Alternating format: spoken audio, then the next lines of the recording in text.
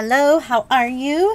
This is Rachel from Sweet Bee Paper Co. I am here with week 28 of the Margarete Miller Weekly Collage Challenge videos. Um, I have a playlist link down below of all of my other collage challenge videos as well as a link to her website for the prompt list. So week 28, something related to coffee. I have the Starbucks French Roast K-Cup box here. Um, so I'm not really quite sure what part of the box I want to use yet for it. Um, something with a bit of pink. So this has some pink on it. But I had these scraps from, I think, a pen pal folder video I did. So I was thinking about using pieces of these something in the shape of a hexagon, maybe the thing I swap out. A photo or portion of a photo. I've got my pack of pictures here. I'll go through and pick one out. Um, ink, whatever that means to you. You know what that means to me. You know already. I'm definitely going in with, with the dot stamp. And then the bonus is a piece of dictionary page. So I have a piece of, or I have a page out of the German English dictionary that I have. So that's what I plan on using. Um, and the background papers, I don't, you know, I really don't know which one I want to use this week. I'm going to kind of get some things picked out and then I will pick out a paper to use then. But I'm kind of, hmm, that's kind of pretty. So I am going to go ahead and get started.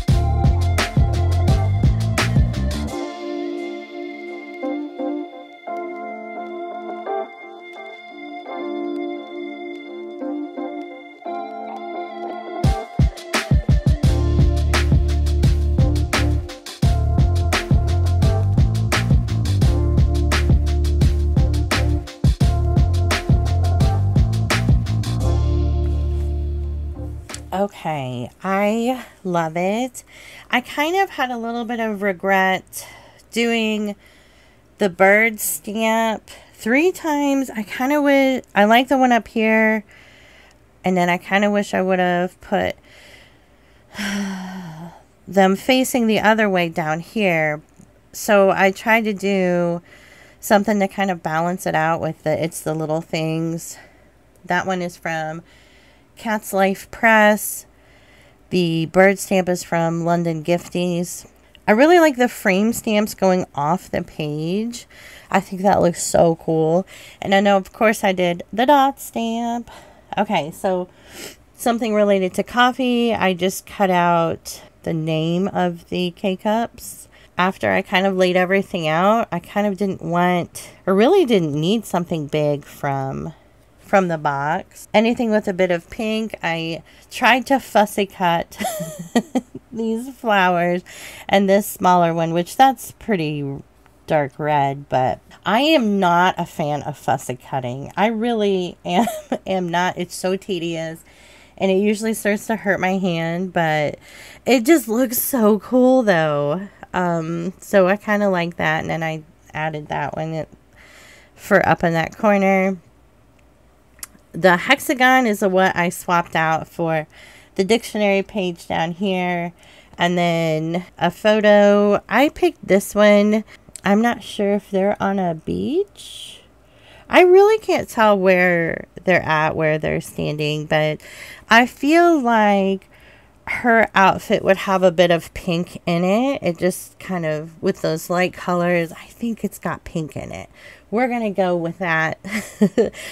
but I love how it turned out. It's so pretty. I think every week I think to myself, wow, this one is my favorite. you know what I mean? Like, um, oh, and then I wanted to show you last week actually put in the book because it was drying when I recorded the video and I didn't want to stick it in there. Part of the paint that ends up on the napkin, some of it stayed a little sticky. Maybe that's the glue at the top. I'm not sure. Something is a little sticky on it, but I, I love that one too. But yeah, so excited to be done with week 28. 28. This is crazy. But um, I hope you liked the video. If you did, hit the like button. Please subscribe, and I will see you next week. Bye.